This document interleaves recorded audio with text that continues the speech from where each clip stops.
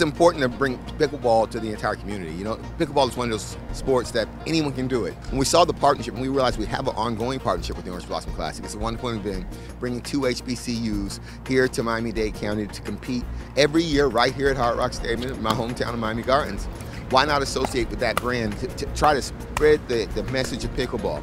The effectiveness of pickleball and helping you get in shape and stay in shape, and how it can be a community tool. This event is beautiful. I mean, the sun's out, there's not much rain, there's barely any clouds. Uh, the staff's great, and uh, what better location than Hard Rock Stadium? Well organized, and um, it's always fun to come out and play pickleball. It's uh, such an addic addictive game.